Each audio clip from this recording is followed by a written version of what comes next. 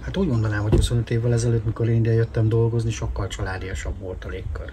Sokkal ö, másabb volt, sokkal jobban ismertük egymást, egymás családjáért, sokkal jobban tudtuk azt, hogy mire számíthatunk a, másiktól, a másik családjától. Egészen más volt a hangulat egy-egy szolgálatban. Sokkal barátságosabb, családiasabb. Azzal együtt, hogy igazából a munka egyáltalán nem volt kevesebb, hiszen a szállítás is itt volt, sokkal többet voltunk úton. A mentőállomáson sokkal kevesebbet találkoztunk, tehát sokkal kevesebb időt töltöttünk egy légtérbe a mentőállomáson egy-egy szolgálat alatt, mint most talán lehet ez is segített abban, hogy nem volt annyi vita, vagy talán nem volt annyi, annyi, annyi érdekellentét, mennyire nem jött elő, mint amennyire most elő, mint amennyire most észreveszem, hogy előjön. Ez egy lényeges különbség volt. Egészen eh, más típusú emberek voltak azok a régi mentősök, akikkel én kerültem. Nyilván nem azt mondom, hogy jobb emberek voltak, köztük is volt nehéz ember, akivel nehezebb volt kijönni, köztük is volt olyan, akivel jó ki lehetett jönni, de mm, mindenkivel meg lehetett találni a közös hangot. Uh-huh. Talán azt kell mondjam, hogy mentalitásban egészen más típusú emberek voltak a ré- a régi men, az úgynevezett régi mentősök, mint akik a, az újak, akik most ide kerülnek. Ez nem azt jelenti okvetlen, hogy a mostaniak sokkal rosszabbak, vagy akár jobbak lennének. Hoz, emberi hozzáállásban látok különbséget a két korosztály között, és most már így akkor tudok, mivel én a két korosztály közé, úgymond a fiatalok és az öregek közé szorultam, ezért én tudok különbséget tenni, hogy milyen volt akkor, mikor én voltam fiatal egy mentőállomáson, és látom, hogy milyen az, amikor most kerül be egy fiatal a mentőállomásra.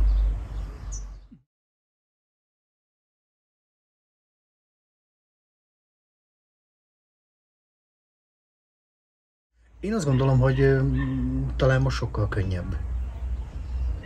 Sokkal könnyebb. Azért a régi időben, hogy is mondjam, csak ahhoz, hogy egy fiatalt elfogadjon az a közösség, ahova bekerült, azért kicsit többet kellett úgymond tenni.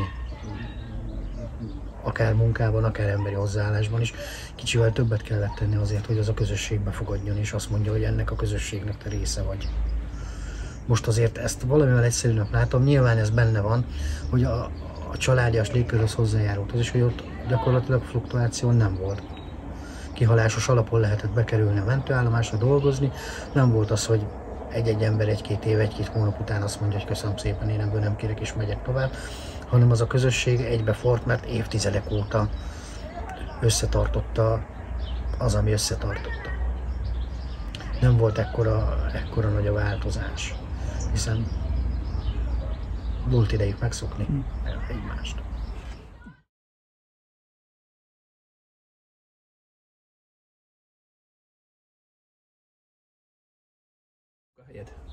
Hát egy külsős ember megkérdezni, hogy milyen a mentőszolgálatnál a munka.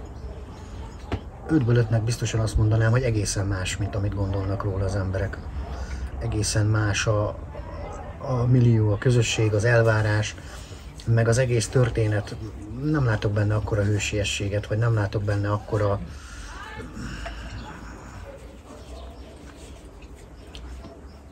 hogy fogalmazom meg, nem látok benne akkora hmm. nehéz ezt megfogalmazni.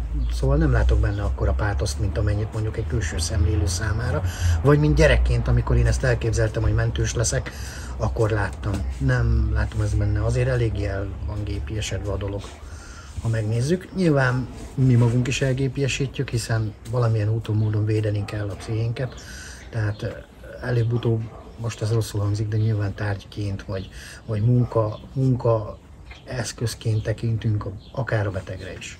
Ez persze most mondhatjuk azt, hogy embertelen, meg személytelen, de tudomásul kell venni, hogy valamilyen védőhálót nekünk is fel kell építeni, és nekünk is van magánéletünk, családunk.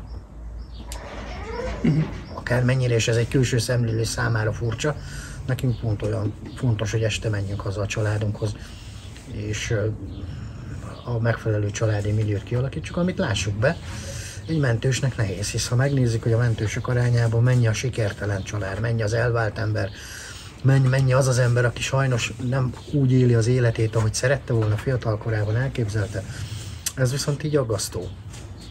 akár a magam példáján is lát, látható, vagy, vagy bármelyikünk példáján, hogy nem tesz jót ez a, a túlhajszoltság, hogy olyankor mész el dolgozni, ami éjszakára, hétvégére, ünnepnapra, amikor a mások éppen otthon vannak, pihennek, a családjukkal vannak, örömködnek, te akkor mész, és csörög a telefon, egy percen belül ugrasz az autóba, és mész. Gondolkodni sincs időd azon, hogy otthon ugyan a család mit csinálhat, vagy otthon a család éppen belencéznek a gyerekek, vagy sütögethetnénk egy jót, vagy akár elmehetnénk állatkertbe, moziba, bárhova, mert neked nem ez most az elsődleges.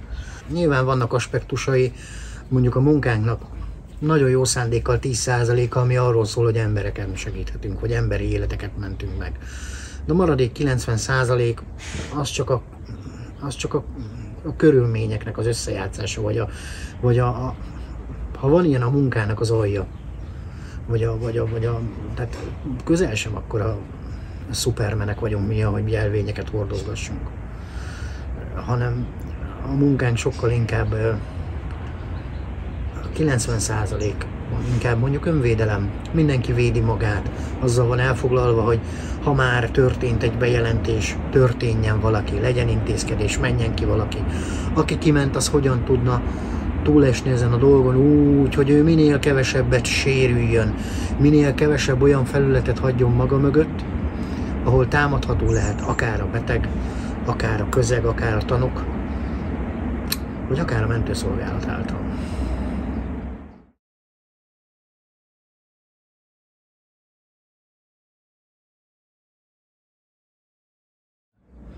Egész konkrétan minden új embernek, aki mellém kerül első alkalommal el szoktam mondani, hogy nagyon gondolja át, járjon nyitott szemmel az első három hónapban. Gondolkodjon el azon, hogy jól választott-e, gondolkodjon el azon, hogy jó közegben, jó millióben, abban a abban az elkép, megkapja-e azt az elképzeléseit, ami miatt ő idejött. A próba ideje alatt próbáljon meg, egyrészt nyilván meg is kell felelni valaminek, hogy meghosszabbítsák valamilyen kritériumnak, hogy meghosszabbítsák az ő próba idejét, de nézze is meg azt, hogy az ő számára is jó-e az, hogy ide kerül. És nem biztos, hogy mindenkinek való ez, nem biztos, hogy mindenki ide való, és nem biztos, hogy mindenkinek való ez a munka. Vagy való ő maga erre a munkára akár.